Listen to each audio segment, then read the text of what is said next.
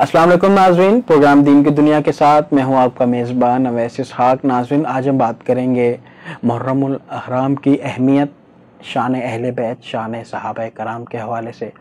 और बात करेंगे कि ये जो रिसेंट सिनेरियो डेवलप हुआ है तो उस हवाले से उलमा का क्या किरदार होना चाहिए बैनुल मसालिक और बैनुल मसाहिब अमन के हवाले से।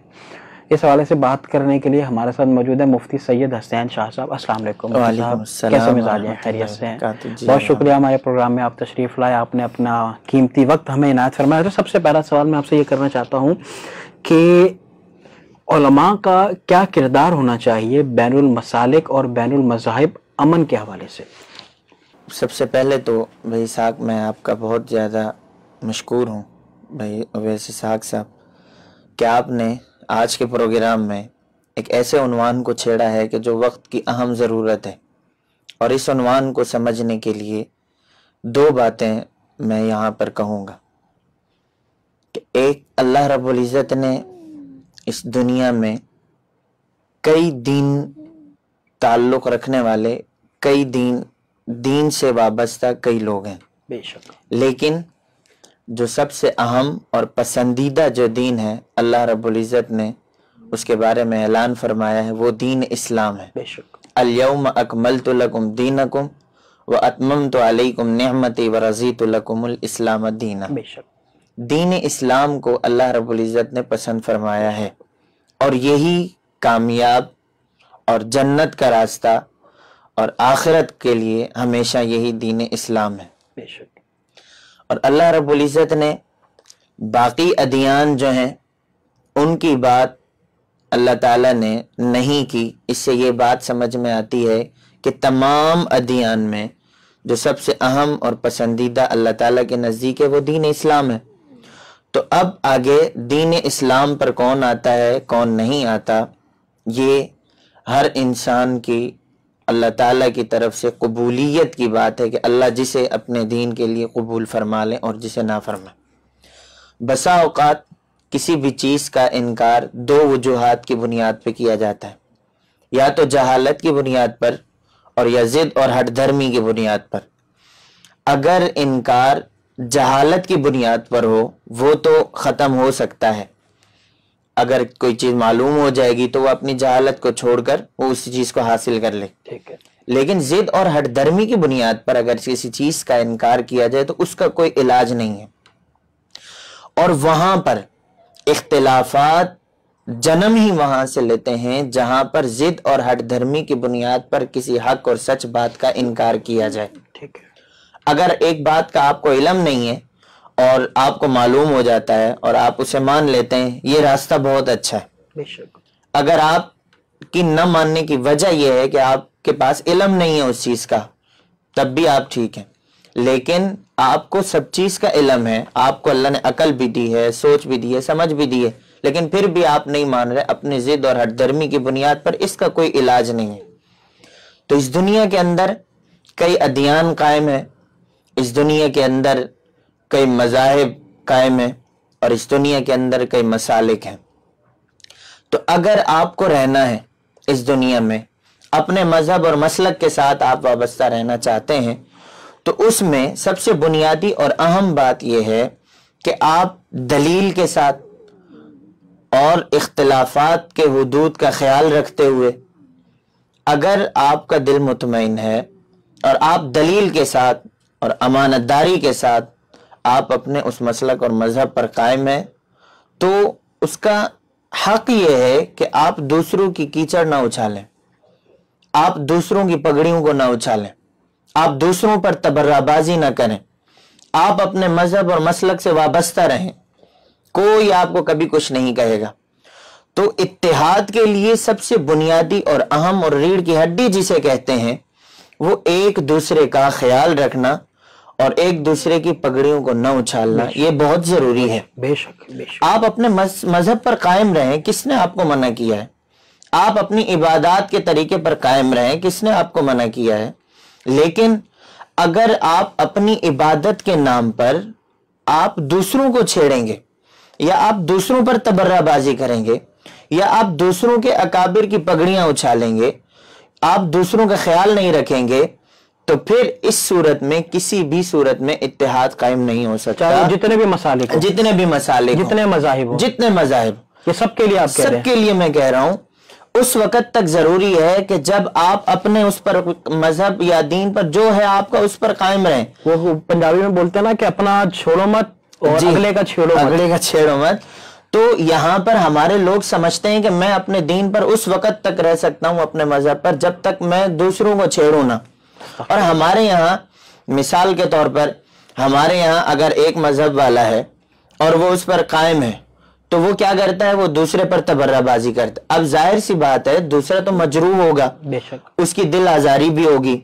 आप उनके अकाबिर पर बात करेंगे तो नुकसान पहुंचेगा।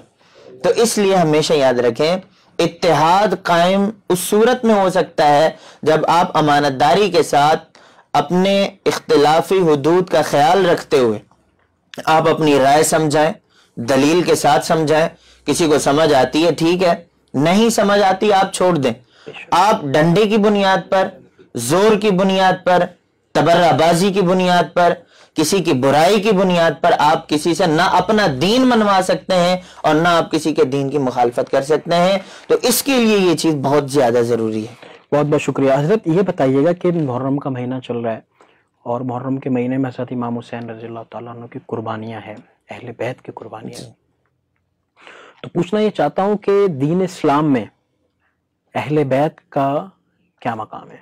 अल्लाह रब्बुल इज़्ज़त ने पैगंबर सल्लल्लाहु अलैहि वसल्लम को जब दुनिया में मबूस फरमाया तो हुजूर सल्लल्लाहु अलैहि वसल्लम का आगे खानदान चला है।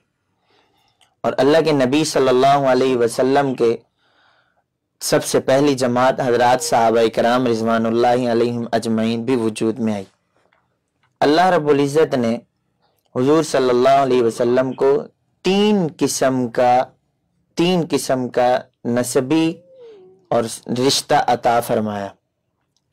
नंबर एक, अब्दुल मुत्तलिब, जो हुजूर वसल्लम के दादा, उनके खानदान में से जितने भी हैं, हुजूर सल्लल्लाहु अलैहि वसल्लम के रिश्तेदार हैं तो इन्हें कहते हैं नसबी अहले बैत जिनका ताल्लुक हुजूर सल्लल्लाहु अलैहि वसल्लम के साथ बेतबार नसब के हैं। ठीक है। दूसरा हुजूर सल्लल्लाहु अलैहि वसल्लम के साथ घर का ताल्लुक रखने वाले अहल बैत सुकना ठीक है। जो हुजूर सल्लल्लाहु अलैहि वसल्लम की बीवियाँ अजवाज मुताहरात हैं उन्हें भी अहल बैत कहते हैं। ठीक है। और नंबर तीन अहल बैत का मतलब समझना चाहें तो अहल बैत बैत औलाद, यानी हुजूर सल्लल्लाहु अलैहि वसल्लम से जो आगे औलाद चली है, वो बेतबार अहल बैत के। तो अहल बैत हमारे यहाँ, अगर इसका माना समझ लिया जाए तो सारी बात खत्म हो जाती है।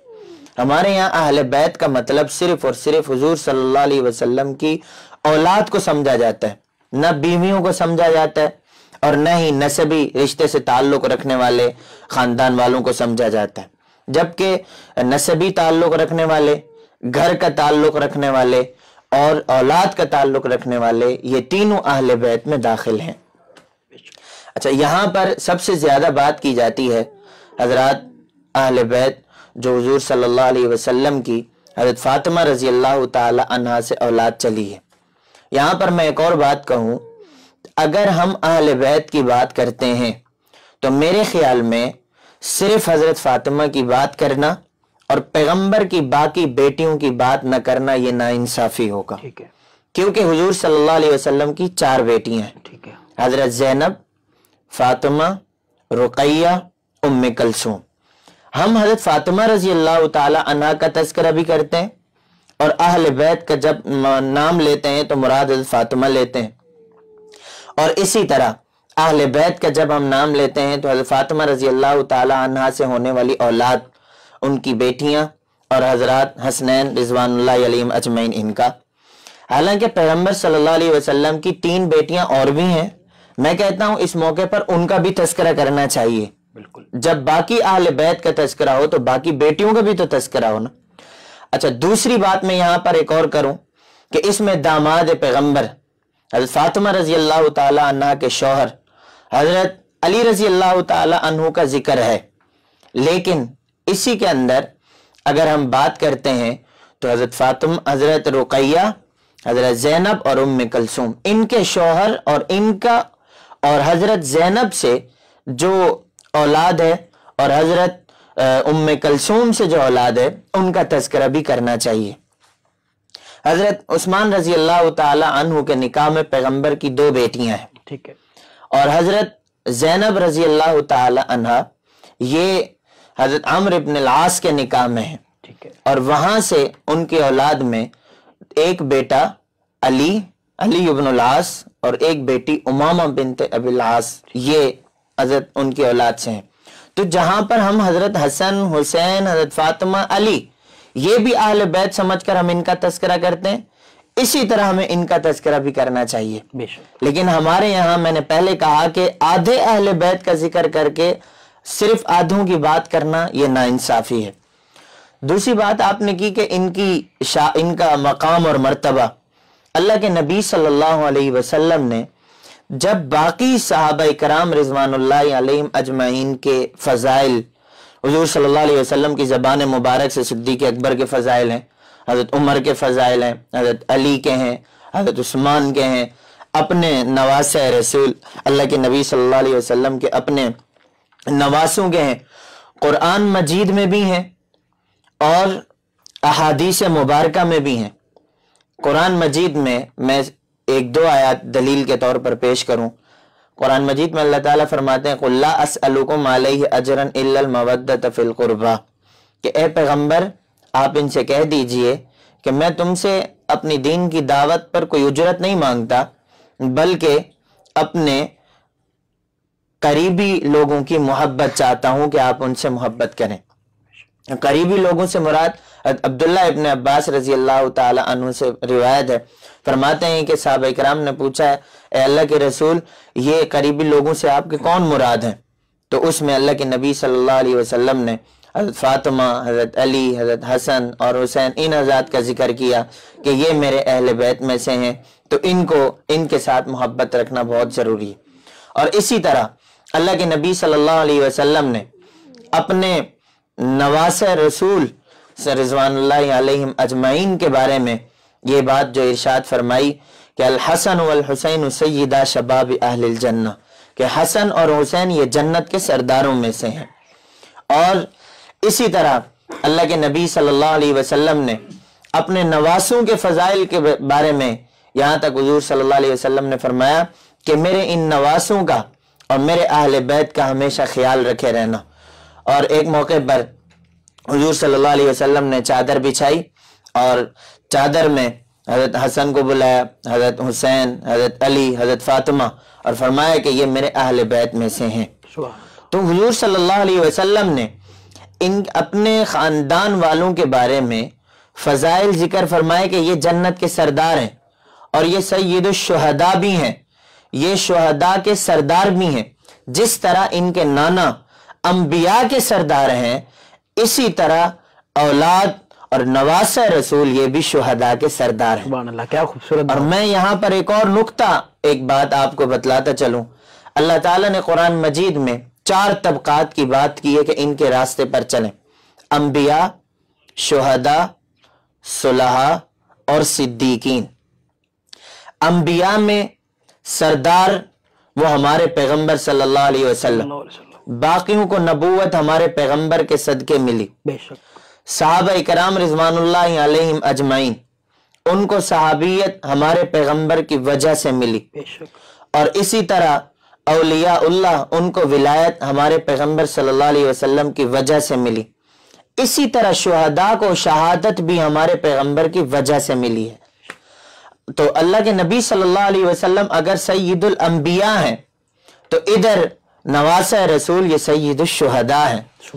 और अल्लाह के नबी सल्लल्लाहु अलैहि वसल्लम ने जहाँ अपने नवास रसूल के और फजाइल बयान फरमाए और यहाँ ये भी फरमाया कि क़यामत के दिन हौज कौसर पर मेरे साथ सबसे पहले जब मैं हूँगा तो साथ में हज़रत हसन हज़रत हुसैन ये हज़रत आल बैत भी मेरे साथ होंगे। तो अल्लाह के नबी सल्लल्लाहु अलैहि वसल्लम के नवास रसूल के फजाइल भी हैं। उनका हम इकरार भी कर रहे हैं उनको तस्लीम भी कर रहे हैं। और जो तस्लीम ना करे। और जो तस्लीम नहीं करता वो तो दायरे इस्लाम से खारिज है। अच्छा।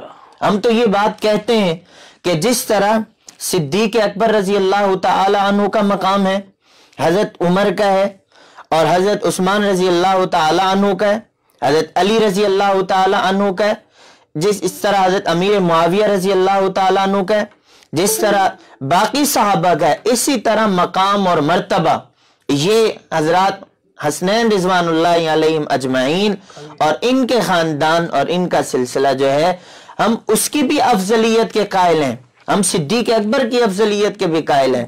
हम हज़रत उमर की बात भी करते हैं, हज़रत अली की बात भी करते हैं, हज़रत उस्मान की भी करते हैं, सिद्दीक अकबर की भी करते हैं, हसन की भी करते हैं, हुसैन की भी करते हैं अमीर मुआविया की भी करते हैं। हम तो सब सब की बात करते हैं, क्योंकि इन सब का ताल्लुक हजूर सल्लल्लाहु अलैहि वसल्लम के साथ था। अल्लाह के नबी सल्लल्लाहु अलैहि वसल्लम के साथ जब इनका ताल्लुक था, साहब कराम का ताल्लुक था, हम उसे भी मानते हैं। तो जो पैगंबर की आल औलाद है हम उसका कैसे इनकार कर सकते हैं? हम तो नहीं इनकार कर सकते। कोई मुसलमान नहीं कर सकता। कोई मुसलमान जी बिल्कुल।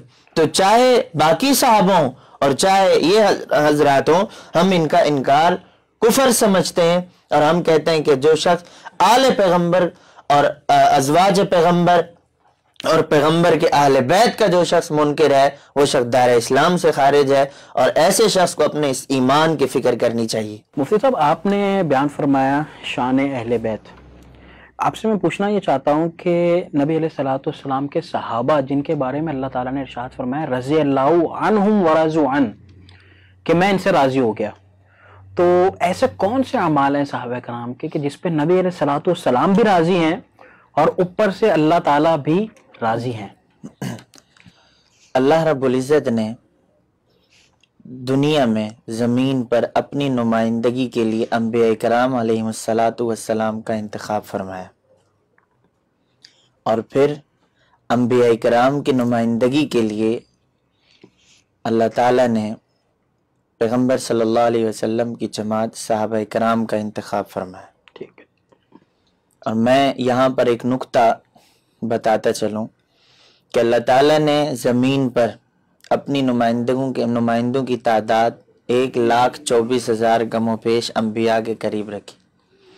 और हमारे पैगंबर सल्लल्लाहु अलैहि वसल्लम का मकाम और रुतबा देखें कि अल्लाह ताला ने अपने पैगंबर को मकाम यह अता फरमाया कि, ए पैगंबर, जितने ज़मीन पर नुमाइंदों की तादाद मेरी होगी उतने नुमाइंदों की तादाद आपकी होगी। अच्छा। साहब इकराम की जमात की तादाद भी एक लाख चौबीस हज़ार गमो पेश के करीब है। अच्छा। तो जितनी तादाद अम्बिया इकराम की हम्म। जो खुदा के नुमाइंदे हैं और जो नबी के नुमाइंदे साहब कराम है उतनी तादाद उनकी। सिर्फ़ अपने नबी का मकाम और रुतबा बताने बहुत कम सुना है ये बात मैंने। अब मैं दूसरी बात आपको यहाँ पर ये समझाऊं कि दुनिया में दो मकाम ऐसे हैं कि जिनका इंतखाब अल्लाह ताला ने खुद अपने पास रखा है। ठीक है। और इसके अलावा अगर आप कोई मकाम हासिल करना चाहें ताकत की बुनियाद पर और दौलत की बुनियाद पर कुत की बुनियाद पर इसके अलावा माल की बुनियाद पर इबादत की बुनियाद पर आप उस मकाम तक पहुँच सकते हैं। ठीक है। दुनिया में किसी को हाफिज कुरान बनना है तो वो हाफिज कुरान बन सकता है अपनी मेहनत करे और वक़्त लगाए कुरान मजीद का हाफिज बन जाएगा। और अगर कोई वली बनना चाहता है किसी वली अलिया की सोहबत में वक़्त लगाए तो वो वली बन सकता है।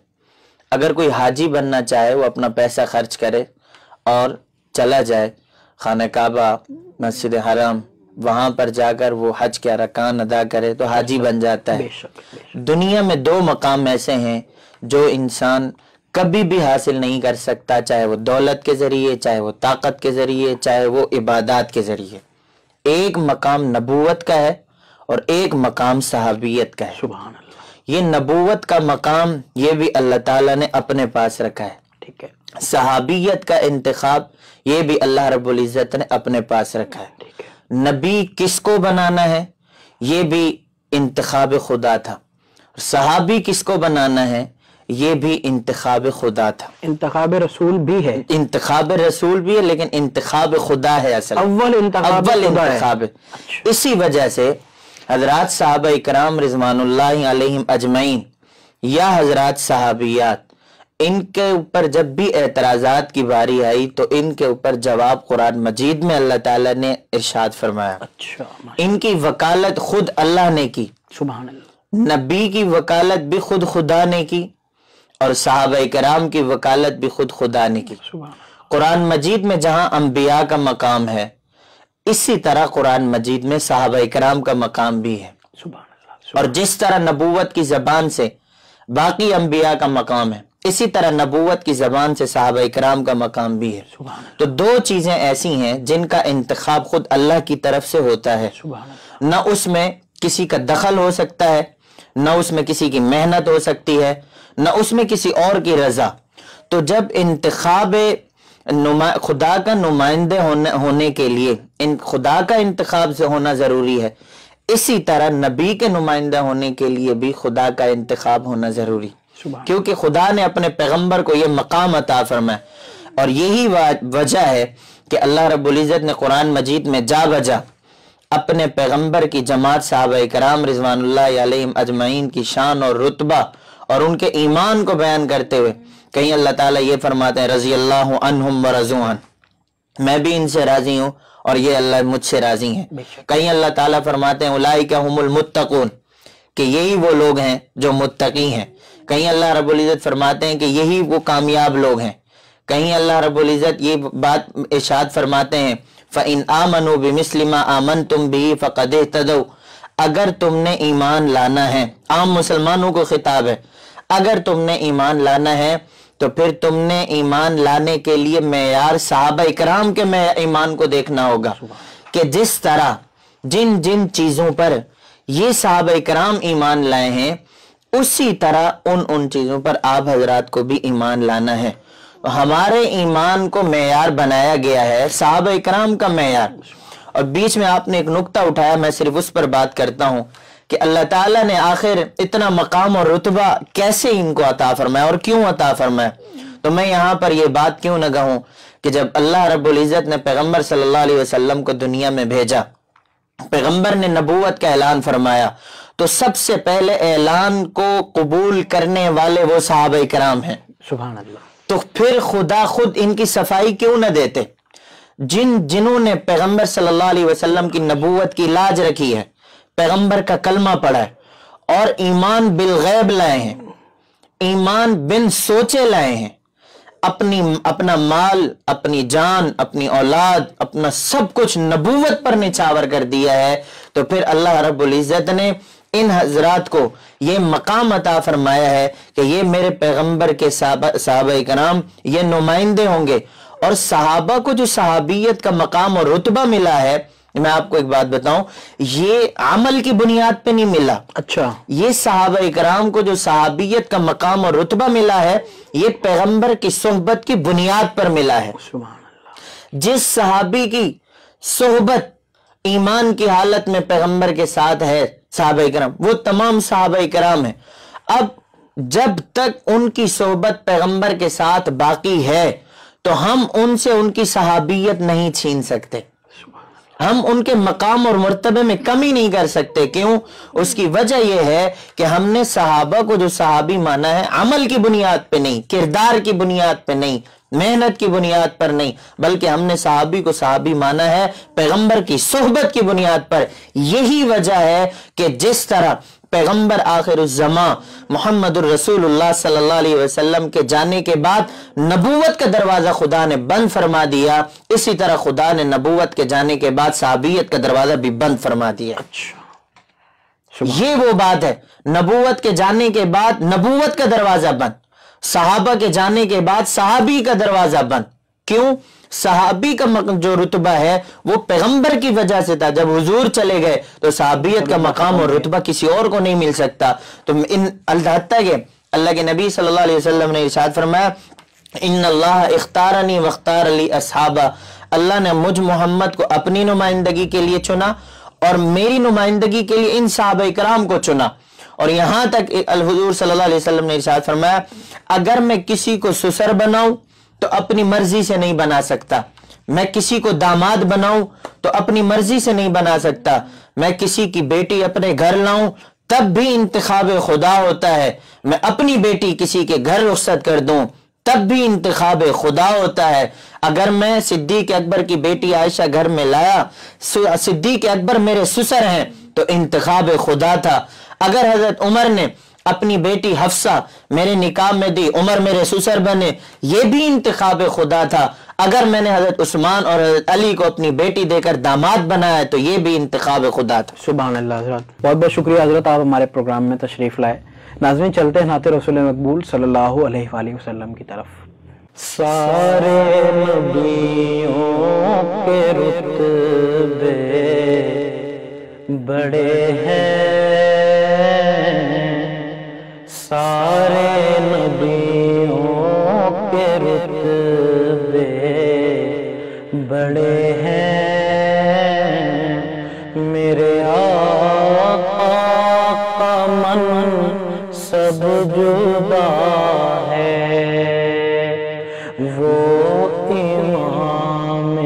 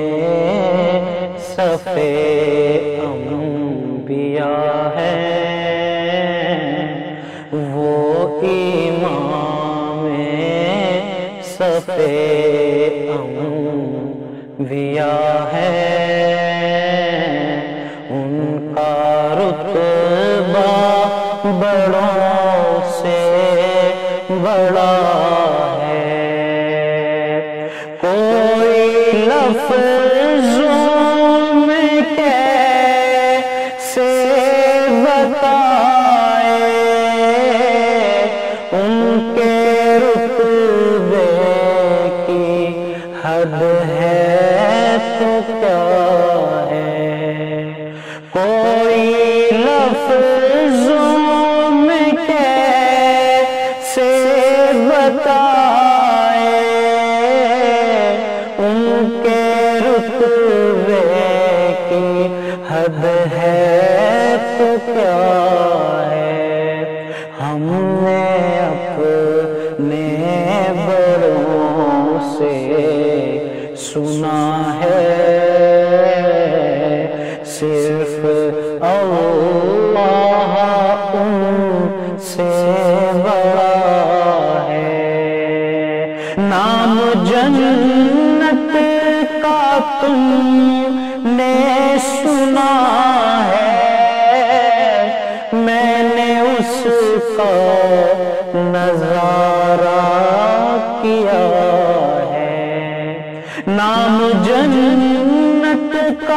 तुमने सुना है।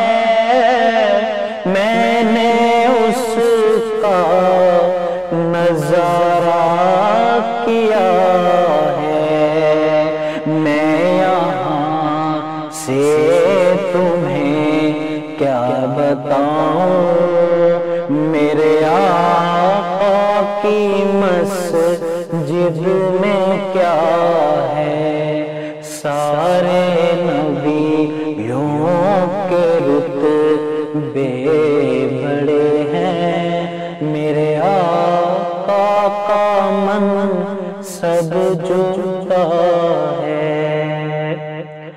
इसी के साथ नाजरीन, अपने मेज़बान अवैसी साहब को दीजिए इजाज़त। इन आपसे मुलाकात होती है अगले हफ़्ते। तब तक के लिए अपना ख्याल रखिएगा। अल्लाह हाफिज़।